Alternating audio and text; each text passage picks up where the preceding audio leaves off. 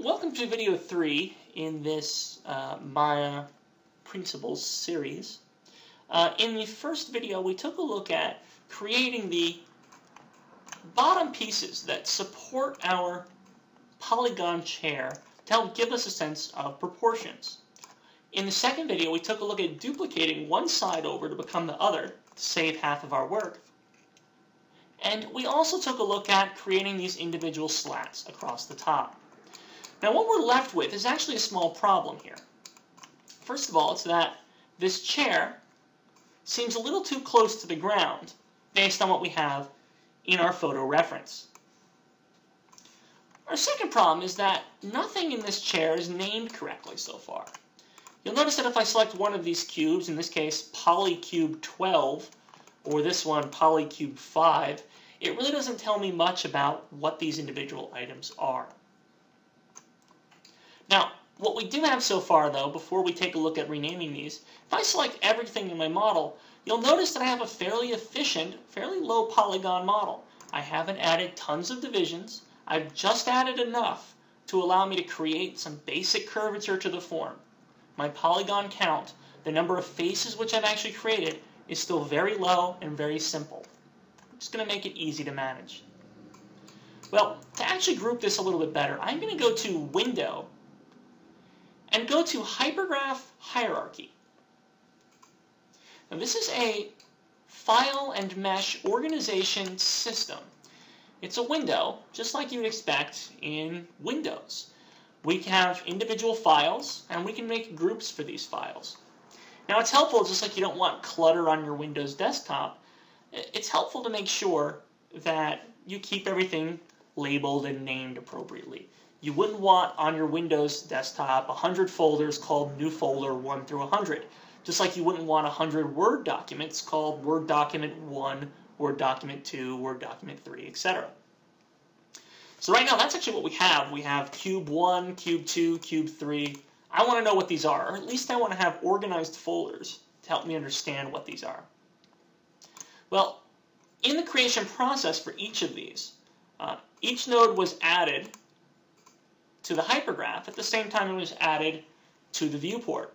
Meaning that this also sort of acts a little bit as like a timeline of how I created my individual pieces. You can see if I select the first four, which were the first four I created, those are of course the bottom pieces. The remaining nine are the top slats.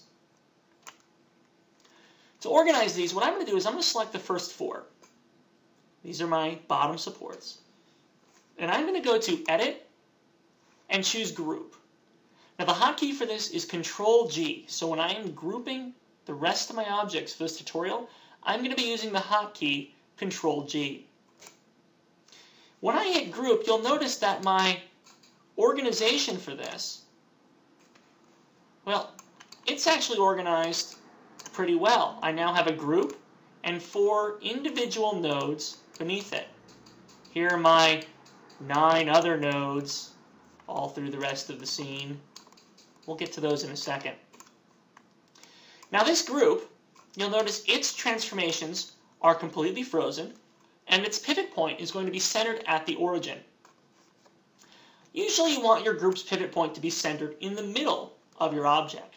So what I'm going to do is I'm going to go to Modify and choose Center Pivot, putting that pivot point, as we see, right in the center of my object. Now, the group is interesting because it allows me to select all of my objects and move them at once based on the group folder. It also allows me to select them easily based on that group folder.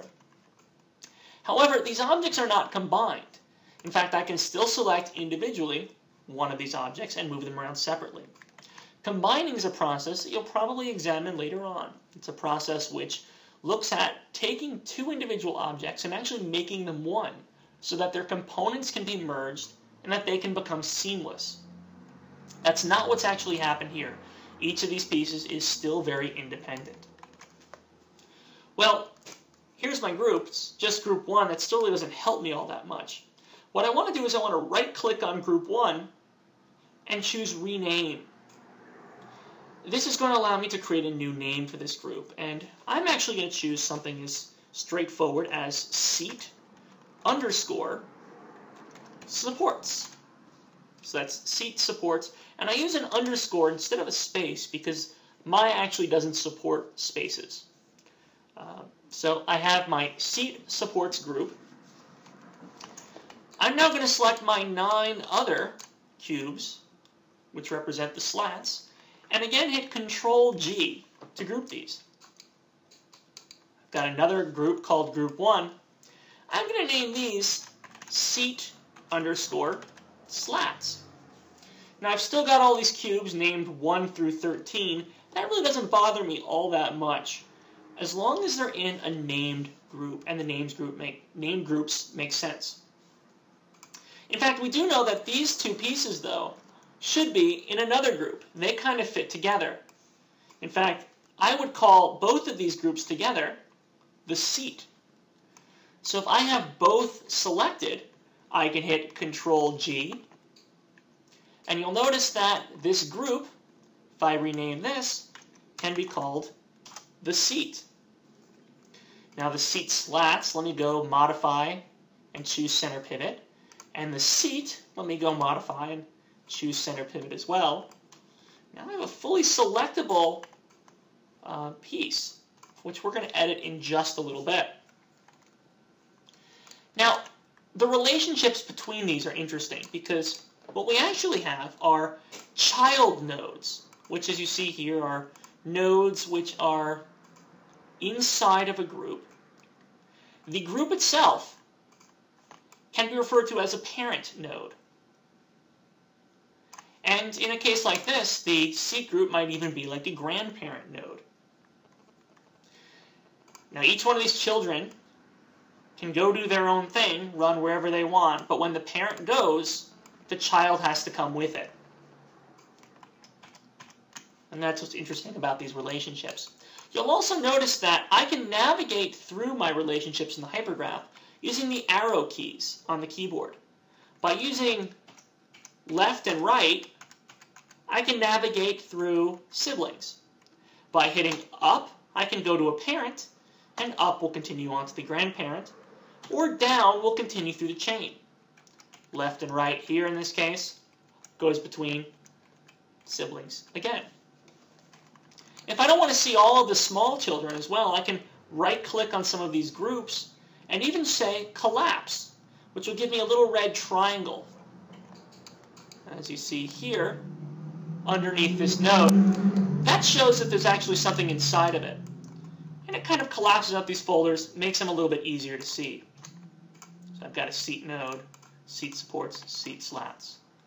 I can even make a piece of geometry, such as this sphere, and I can make this seat part of this sphere's group. In fact, it doesn't have to be just folders.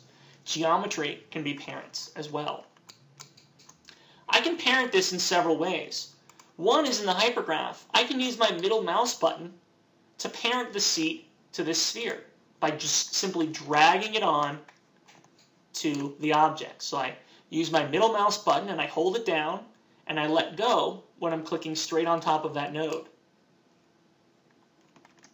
I keep hitting undo to undo that. I can also select my seat and then hold down shift to select the parent. So select the child first, then select the parent. And I can hit P on the keyboard. That will create this parent-child relationship. I can also make a blank group and add these elements to a blank group. If I hit Control G, you'll see it'll give me a null group. If I right click on null and rename this, in this case, chair, because eventually we're going to have other parts to the chair than just the seat, I can add the seat to the chair group. The chair group I'll leave at the origin because the whole chair essentially will be centered around this point later on. And the seat, change my proportions so they match a little bit better, what I'm going to do is I'm going to grab my move tool pull it up ever so slightly. And then I think we have an appropriate distance.